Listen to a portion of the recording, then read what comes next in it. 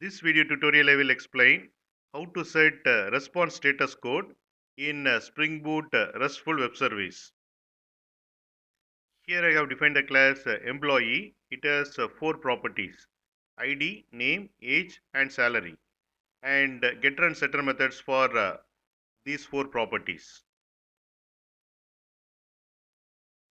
Here I have defined the class employee controller which is REST controller and uh, it has get employee method which accept uh, employee ID.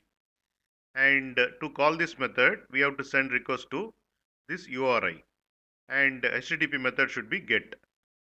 And in this method if employee ID is less than 10 then I am creating employee object then I am returning response entity object. And uh, here I am using uh, response entity constructor which accept uh, body and HTTP status code.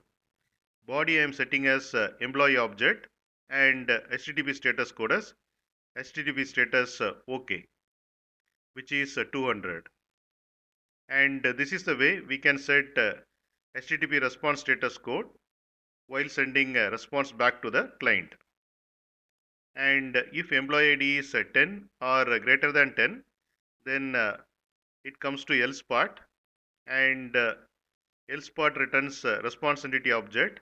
And uh, here I am using uh, response entity constructor which accept uh, status code. And uh, status code I am returning as bad request which is 400 now I am going to start uh, Spring Boot application in uh, debug mode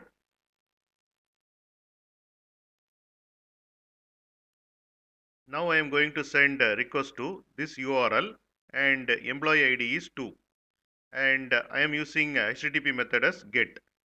Click on send and request reached here and employee ID is 2.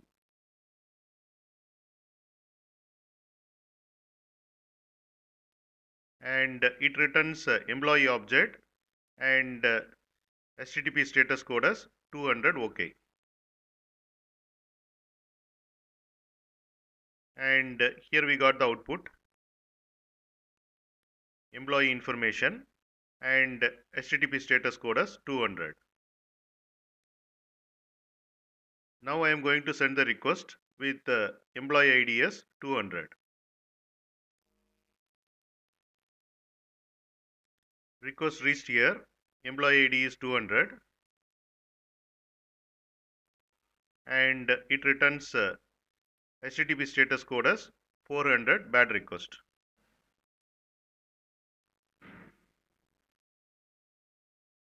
Here we got the output and status code as 400 bad request.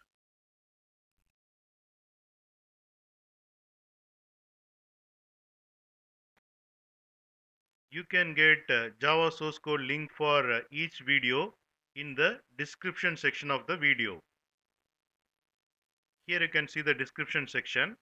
Click on uh, show more and here you can see the Java source code links.